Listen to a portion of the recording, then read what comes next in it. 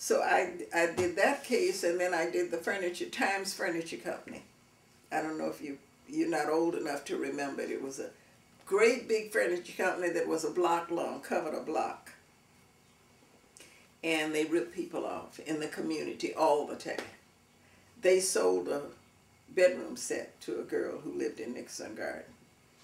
And she sat on the mattress and the spring broke and cut the artery in the back of her leg.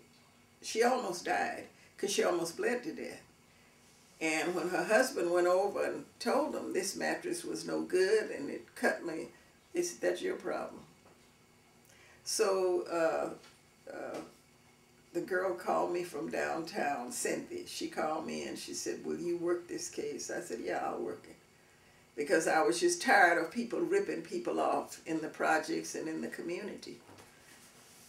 So I went to the store and I worked the case. And uh, I said, I'm interested, you know, in this. They'd they had a bedroom set in the paper, $99 for a bedroom set. When I got there and I said, I want to see the bedroom set for $99, he said, we don't have no bedroom set for that. That's just for advertisement purposes. I said, oh, really? Okay. Then tell me what it would cost to buy the set. And just put it on your card for me. I want to talk to my husband. He was crazy enough to put it all down on the card. And when he got through, I had four civil and five criminal charges against him. And I told the city attorney, we've got him. So they filed. And then they started following me and harassing me. Oh, they were trying to find out. Because once they filed it, my name became public and they knew who I was. but CLAPD worked with me and they said, just go on about your business. If, you, if they're following you again, just call us let us know where you are. So they got the guy, and he said, well, I was just trying to serve her with a subpoena, you know, that, that kind of thing.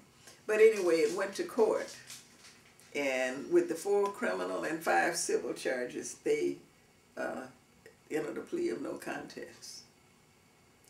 And that meant they could not advertise. They, all of the restrictions that they had violated, they couldn't. So after that, Mayor Bradley knew about these cases and knew I, and he said, you know, I want you on this board of commission because you'll make some changes.